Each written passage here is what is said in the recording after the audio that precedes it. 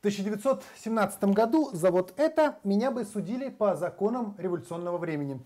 В 1937 за вот это меня бы расстреляли без суда и следствия.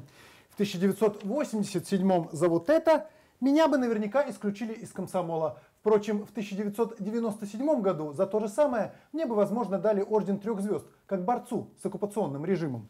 Сейчас 2008, и что будет со мной за вот это, я пока не знаю. Но зато уже известно, что происходит со школьниками в городе Огра.